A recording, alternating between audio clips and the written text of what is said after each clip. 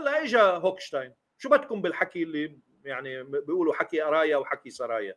في ناس بحبوا يقولوا بحبوا هن بينبسطوا إنه حمل التهديدات وقال بده يعمل إسرائيلي وبده يسوي. أصلا هو طلع توضيح قال ليس صحيحا. أنا لم أنقل تهديدات. اللي قاله هوكشتاين راح لكم إياه. قال أمرين. قال الأمر الأول نحن على يقين وقناعة. وقلنا لهم للإسرائيليين. وبيان الخارجية الأمريكية كان واضح. إنه قال لاسرائيل إنه وقف الحرب في غزة هو الطريق لوقف الحرب في لبنان.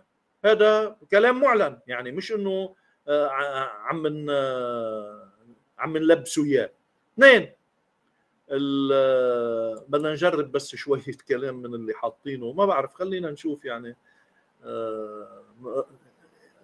مرق يعني هال التعليقات اللي فإذا هوكشتاين واحد جاب هالكلام هو أوضح قال إنه نحن قلنا لهم للإسرائيليين ما في إمكانية للحديث بوقف إطلاق نار قبل أن تقف الحرب في غزة. فروحوا وقفوا الحرب في غزة وهيك يعني بصير إنه في فرصة لتقف الحرب في لبنان تلقائيا.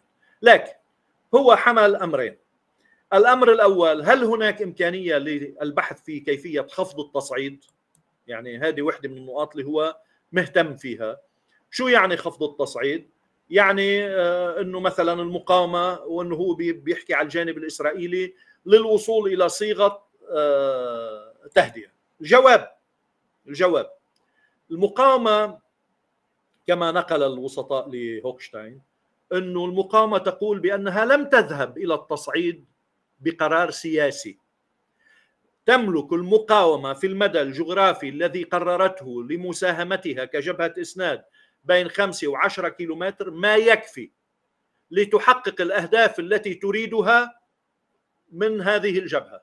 فيها لأنه هي فيها كل أنواع الأهداف. فيها قبب حديدية وفيها غرف عمليات وفيها عمليات إلكترونية وفيها ثكنات وفيها فرق وفيها قيادة فرق وفيها كتائب وفيها ألوية وفيها مدرعات وفيها كل شيء.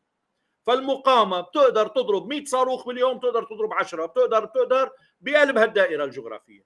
الذي أخذ المقاومة إلى المدى الجغرافي الأبعد وإلى أنواع أسلحة أعلى هو أن الاحتلال من أجل القيام بعملية اغتيال يظهر نفسه فيها في موقع الاقتدار اجى على الضاحيه باغتيال الشيخ صالح العروري.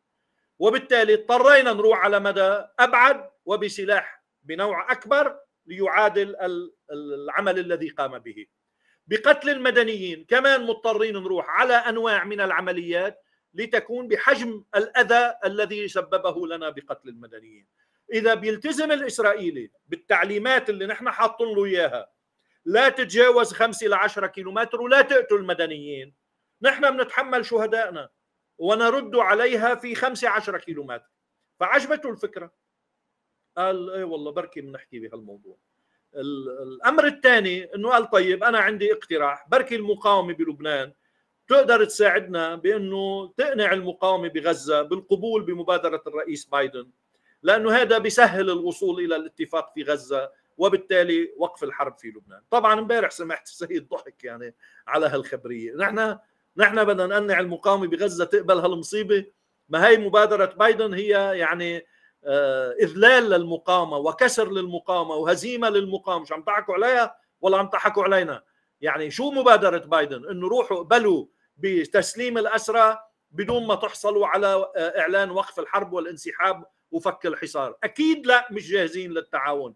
أكيد لا نحن ما بنقول للمقاومة هلأ المقاومة بتقبل ما بتقبل هي قرارها مستقل وطبعا المقاومة ما بتقبل.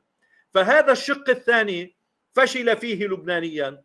والشق الأول اللي هو يروح له للإسرائيلي إنه لا تتجاوز الخمسة ل 10 كيلومتر. ما عم بيقول لك حزب الله خليك عاقل والعاب بالخمسة 10 كيلومتر ولا تروح كرمال الاغتيال على جوية ولا تروح كرمال الاغتيال على الضاحية الجنوبية. ف آه، نتنياهو عشان هيك قالوا زعل هو نتنياهو مش على شيء ثاني مش على موضوع صفقة السلاح وكذب هذا الحكي لأنه موضوع صفقة السلاح ما آه، أمريكا أعلنت أنه مجمدتها ومعلقتها وهي لا تزال تدرس يعني إمكانية آه، الإفراج عنا ولا.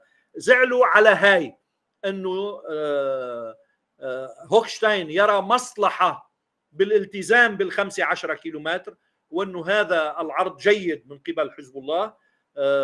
نتنياهو يرى إن هذا إهانة لإسرائيل لأنه معناتها إنه هي بشو بدها ترد بال 15 كيلومتر؟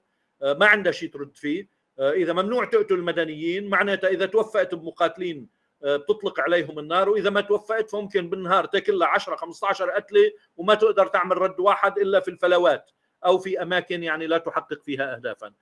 فواقع الحال اذا نحن أمام معادلة الآن هوكشتاين بح خلصت معناتها مهمته الإسرائيلي بده يأخذ قرار بيروح على التدحرج نحو الحرب الكبرى أو ما بيروح. طبعا أنا شخصيا أجزم إنه ما راح يروح. لكن أنا ما بدي أقطع الطريق. يعني أنا بدي أقول مثل ما عم بيقول سماحة السيد امبارح نحن لم نعد في دائرة البحث عن كيف نتفادى الحرب الكبرى. هذا الربح بالنقاط انتهى. هلأ إذا الإسرائيلي عقول وقبلان يأكل قتل ويسلم بالهزيمة وبالربح بالنقاط لصالح المقاومة ما رح نروح نحن على الحرب الكبرى. لكن إذا ضاق ذرعا بتحمل الخسارة في النقاط ووجد مخرجه في الانفجار الكبير فيا أهلا ومرحبا. المقاومة عديدا أضعاف أضعاف. أنا بعتقد رقم الربع مليون ما في مبالغة عنده بالنسبة للمقاومة في لبنان. ورقم النص مليون بالنسبة لكل من اليمن والعراق ما في مبالغة. فإذا أضفنا الربع للنصين يعني عم نحكي عن مليون وربع. آه، منين بده يجيب مثلهم الإسرائيلي؟ وسلاح مثله مثل ما معك معك. ودفاع جوي في دفاع جوي. وسطح سطح يعني أرض بحر للحاملات والزوارق وسواها حدث ولا حرج.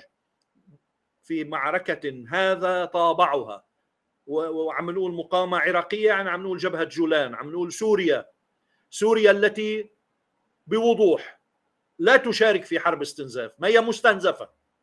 سوريا في الحرب الحاسمة شريك حكمي. استرداد الجولان إلى جانب تحرير غزة إلى جانب الوصول إلى الضفة من قبل المقاومة من غزة وربما من قبل المقاومة من لبنان ومن الجولان. بتصير خلص الأبواب مفتوحة. ما بتعرف يعني إلا إذا الإسرائيلي فاجأك بالانهزام والانهيار وهذا. لكن هذا في إذا انفجرت الحرب الكبرى ما في الا ضوابط. مثل ما قال سماحه السيد امبارح لا سقوف لا ضوابط لا شروط لا قيود. هلأ آه بدي ألفت الانتباه. طبعا قبرص وضحت اليوم. بتعرفوا أنتم قبرص تعتمد على السياحة. ومصداقية سماحة السيد قد رئيس قبرص ضرب 2000 مرة. قال سماحة السيد هذا يعني الدخول في حرب؟ بلشت الحجوزات وهذا الصيف. طارت الحجوزات وطارت الفنادق ورجال السياحة طبوا قاعدين عنده. شو عم تعمل؟ اضطروا طلعوا بيان نحن لسنا طرفا لن نسمح لأحد باستخدام أراضينا وقواعدنا وكذبت إنه نحن ما شاركنا لكن الفيديوهات منشورة عن القوات الإسرائيلية اللي عم تعمل مناورات آه، في آه، مناطق قبرصية قيل أنها تشبه آه، جنوب لبنان. وبالتالي اذا قبرص تراجعت. هلأ عم بيقولوا أذربيجان عم تعمل حساباتها لأنه ما قيل لقبرص يشمل كل من يمكن أن يمنح تسهيلات للطيران الإسرائيلي إذا ما وقعت حرب الآذريين عاطين تسهيلات للطيران الإسرائيلي بمطاراتهم فبالتالي بدهم يعملوا حساباتهم إنه إذا اندلعت الحرب صواريخ المقاومة تطال كل هذا. وبالتالي المقاومة إيه كل دولة بدها تسمح لد... بد... أنت بتدمر المدرجات تاعت المطارات الحربية الإسرائيلية للطيران الإسرائيلي ما يبقى عنده مدرج ينزل عليه بيقوم بيصير ينزل. يا أخي فهمنا نزل وبقي بأرضه بس ينزل ويطلع يعمل غارات ويرجع على المطارات هونيك إنه أنت بتكون عم قال شو؟ قال إنه هذا خرق للسيادة اللبنانية عيب إنه حزب الله يحكي هيك على قبرص طيب خلي أهل السيادة اللبنانية هن يتولوا الموضوع ما المقاومة حطت كل المعطيات بين أيديكم لتتولوا الأمر مع قبرص. كل شيء عملتونا قلتوا لهم الرسالة القبرصيه بتقول لا والله بحلف لكم على القرآن والإنجيل نحن ما أعطينا والفيديوهات عندنا يعني. أنا يعني بختام هذه الحلقة في الحقيقة. ما صار لي مجال أحكي على الموضوع الروسي الكوري وهو موضوع هام جدا وهو بنحكي عنه في حلقة قادمة آه، لأنه هذا تحول نوعي في النظرة الروسية. كوريا المظلومة التي يعني دفعت أثمان حسابات خاطئة لدى كل من روسيا والصين بات من حقها الآن أن تنصف أن تفك عنها الأسوار والقيود وأن يتم التعامل معها كدولة طبيعية وأن تخاض معركة إدخالها إلى عضوية الأمم المتحدة. هذا معيب يعني بحق كل دول العالم الحرة والشريفة من روسيا إلى الصين إلى إيران إلى آه، كوبا إلى كوريا إلى كولومبيا إلى بوليفيا إلى جنوب أفريقيا. لازم يؤخذ بيد كوريا الشمالية. بعدين إذا أمريكا مرعوبة من كوريا الشمالية يجب أن تزداد رعبا منها الآن. ويجب أن يظهر حلف روسي صيني إيراني كوري. ومن يمكن أن يكون جزءا من هذا الحلف؟ وتذكروا كوريا قيمة مضافة في أي معركة. كوريا مش مجرد بس البعد النووي فيها بكل أنواع السلاح بل بالعقلية والعقيدة العسكرية بالعقيدة الأمنية. بيعرفوا يعني مدارس الأمن العربية جزء كبير منها بأيام المرحلة الاشتراكية في العراق وفي سوريا وفي مصر. كانت أفضل الدورات التي يتلقاها الضباط هي التي يتلقونها في كوريا. الراجمات الصواريخ إلى آخره.